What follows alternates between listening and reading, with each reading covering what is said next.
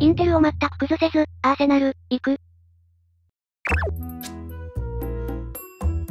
アーセナル何してんねん。ひどいわアーセナル。ここ最近の試合おもんないわ。攻めてるはずなのに得点の匂いしないの本当にまずい。ヌアネリとかその辺がスタートでメンバー入れ替えしてこれならまだしも、現状のベスメン組んでこの手いたらくはあかん。引きこもる相手を崩す手段はないのか。アーセナルは攻撃に意外性とかアイディアがないんよだからインテルに防がれる。